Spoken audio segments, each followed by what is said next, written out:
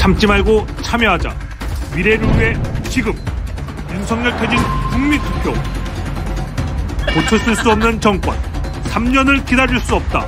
모든 지표를 뛰어넘을 압도적 퇴진 여론 형성. 윤석열 정권 퇴진 투쟁의 새로운 국면 창출.